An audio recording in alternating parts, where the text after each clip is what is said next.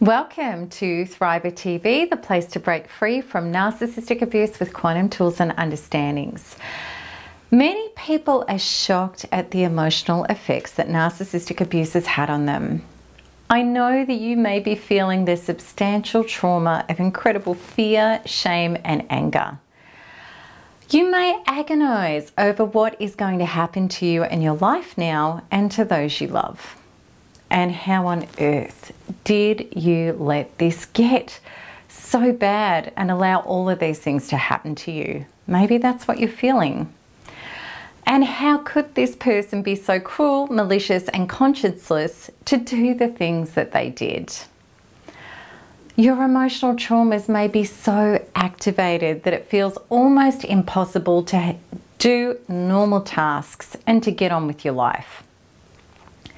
How do you process these intense emotions? How do you let them go so that you can continue with life? I'm going to explain exactly how that is possible in today's Thriver TV episode in direct, powerful, and fast ways. All right, so let's get started. The first step to this is know that acceptance is vital. And in many ways, the first step is the hardest of all.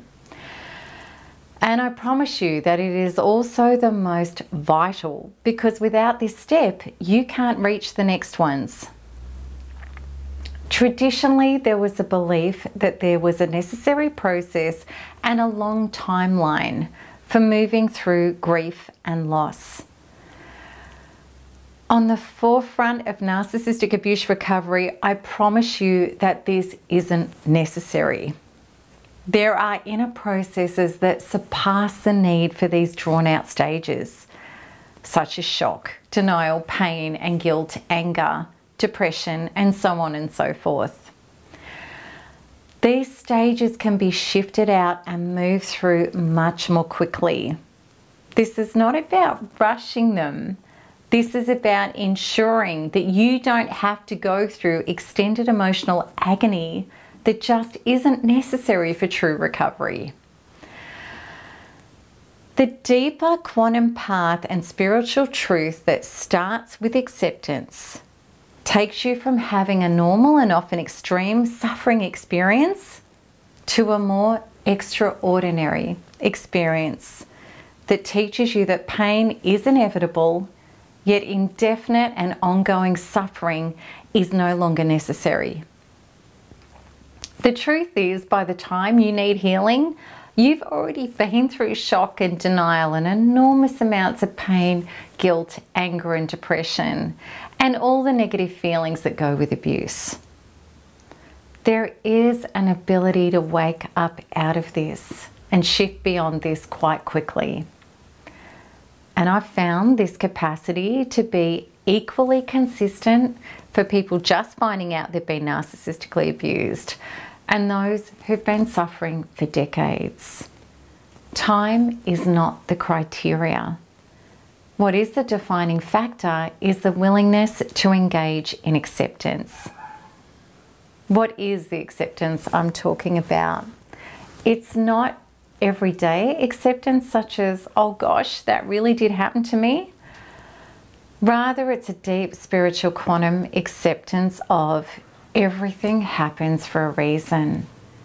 And there is something for me to learn, heal, and evolve here.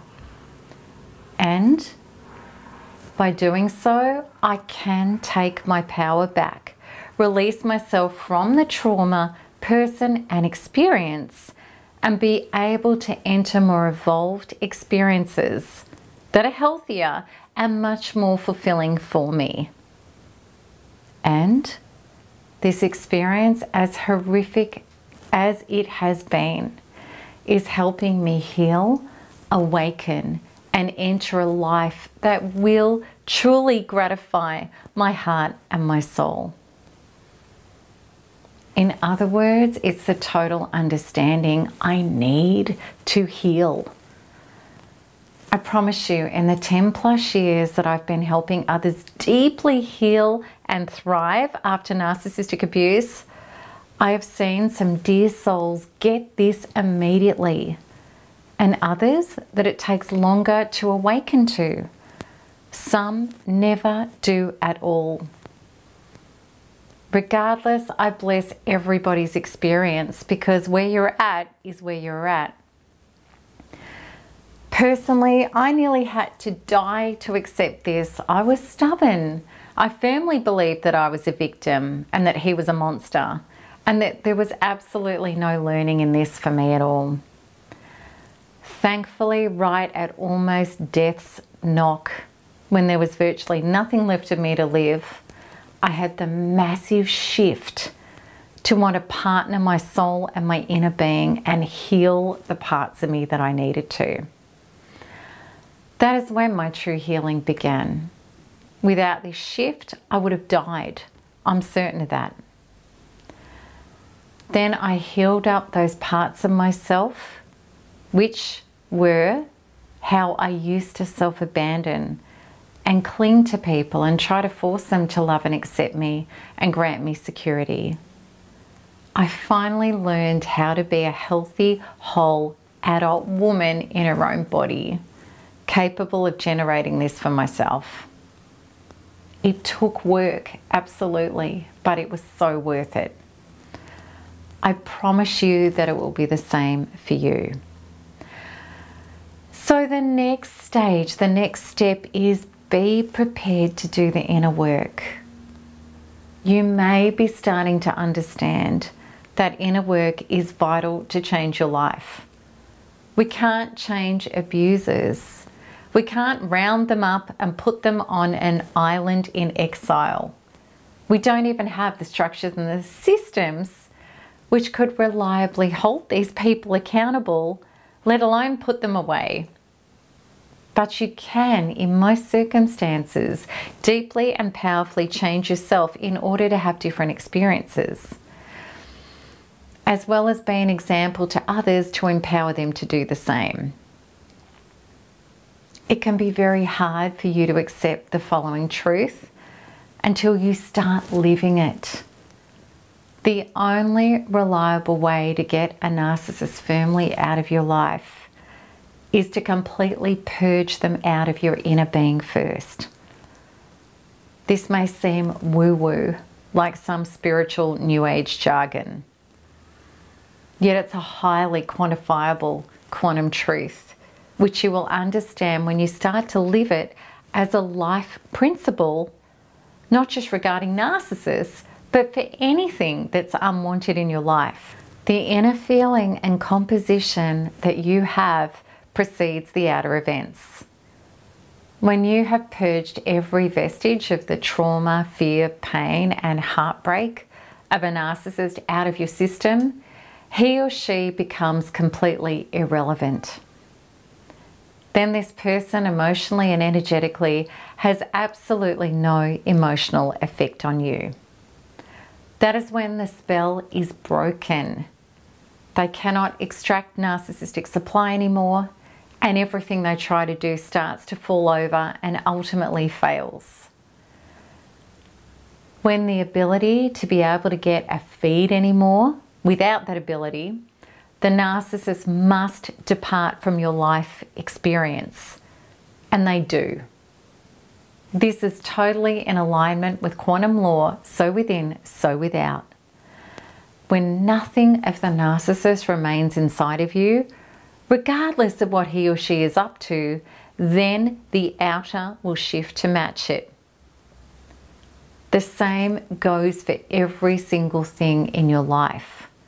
When it's gone on the inside emotionally, you will have the inspirations, power, and confidence, as well as all of the support from legal and outside forces to assist in the elimination of this individual or thing.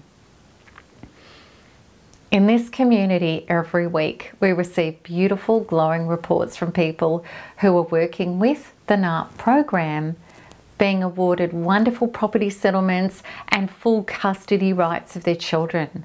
That's how powerful this is. The consistent reports are not a coincidence. These people did the diligent inner work to clear out their fears and painful trauma bonding to the narcissist. Then solution entered. The inner work is so much more powerful than just trying to obtain knowledge. We must deeply change at the core of our inner being to be different and do differently. It's almost impossible to try to think our way out of the terror, pain, and horrific feelings that go with narcissistic abuse. It's so much easier to have a process to shift them out and just go free from them. Then you are no longer disempowered by them. Okay, let's talk about this. Being triggered happens, it's how you deal with it that matters. We were all brought up to try to escape our painful feelings instead of meeting them. As a thriver, I now know a different truth. I know that when I'm triggered, it's signaling me to a deep, as yet unhealed part of myself. And the situation or person bringing it to my attention is an aid, an angel in disguise posing as a difficult person or situation to help me find and reprogram this part of myself to evolve myself into a more actualized human being. This has completely changed my life beyond description. Yes, I still get triggered. I am totally human. I even share about these triggers on social media so that I can help inspire people to continually evolve rather than suffer in their triggers. Before thriving, I used to self avoid, self abandon, and self medicate myself with distractions and addictions. Things such as workaholism, smoking, excessive social media use and socializing, drinking, hanging on to people who were hurting me, and trying to get them to take away the pain from me. I used to do everything other than turn inwards to heal myself. And of course, the false substitutes I used for comfort only granted fleeting relief, and the pain kept coming back because I didn't understand that the triggers were the signal to heal myself. Now I adore being triggered with any feelings of fear, shame, anger, and pain that is the human experience. Absolutely, I feel it. I'm a sensitive person, just as I know many of you are too. Now I fully embrace courageously my opportunity for evolution. What else is there to do if I don't want a crappy life stuck in repeat with the same pain? I'm sick of that. I know that when I get triggers, if I turn inwards with love to myself and do a Quantum Freedom Healing module, which is NARP, then I will release the trauma and the accompanying painful and false belief systems and immediately re reprogram them with my superconscious source self. Then automatically I'm changed. I'm no longer the old program of the painful emotions. I've shifted into peace, wisdom, and solution instead. And this means the panic, helplessness, and hopelessness is gone and is replaced with a solid and sound understanding of what to do. I promise you that you will have the same experiences when you start living this life. There is another incredible and beautiful benefit. As you evolve upwards, you don't have to keep repeating the same painful cycles. You reach into higher echelons of love and life, ones that you don't had, you didn't have access to before doing the inner work. And no longer will you keep saying, Why is my life always like this? Because you will be in the driver's seat of changing it for real. If you deeply understand this, please pause this video and let me know in your comments below by writing, I get it. If you are ready to access this level of healing by doing the necessary inner healing, then join me by clicking the link at the top right of this video. And if you enjoyed this, I'd love you to like and share it with other people who you know are also struggling with processing their emotional suffering. And as always, I look forward to answering your comments and your questions below. So, you know how it goes. Keep smiling and keep healing, keep thriving because there's nothing else to do. Lots of love. Bye bye.